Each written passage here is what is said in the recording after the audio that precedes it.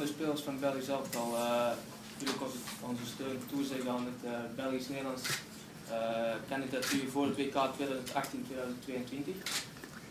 we zijn heel fier dat we als ambassadeur voor onze beide voetballanden mogen aantreden.